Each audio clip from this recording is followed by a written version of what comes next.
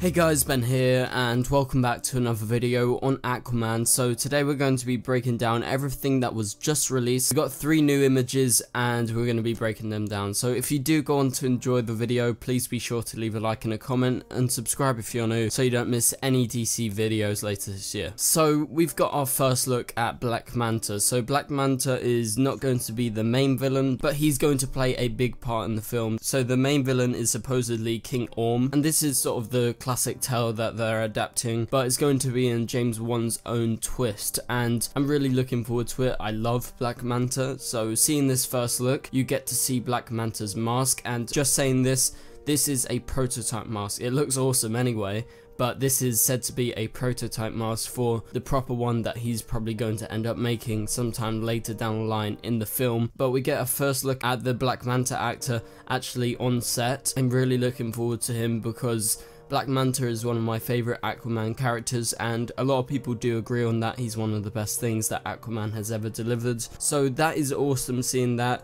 and so I'm going to be moving on to the next image which reveals our first official look at Queen Atlanna. So Nicole Kidman, an Oscar nominated and I think she's won some Oscars actor is actually going to be playing Queen Atlanna and I'm really really looking forward to this. Her suit looks absolutely awesome and it's very similar to Mera and she's obviously got the crown on her head. I'm not sure exactly what you call it but this is a great first look so you get to see the watery background of what looks like will be Atlanta Atlantis and we get to see Aquaman in his normal clothes. And also a person that is getting me super excited for the film is Mera because Mera is a brilliant Aquaman character. And just seeing her in Justice League I'm just so excited because I really do like the actor. And I thought her powers were some of the most intriguing out of all the DCEU so far and I'm looking forward to the advance of her character and how it's going to actually go forward. But as you can see her costume has changed a little bit and it's a little bit less armored because obviously she's not in her battle gear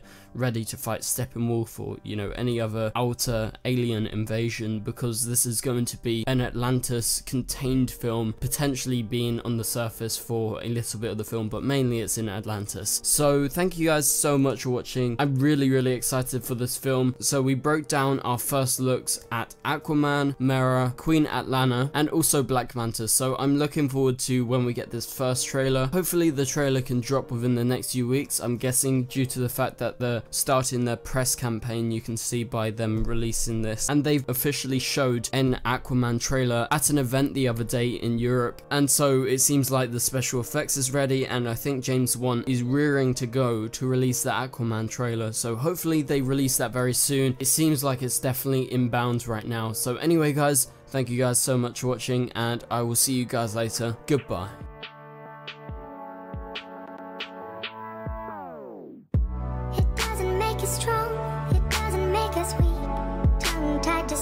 Like shark free.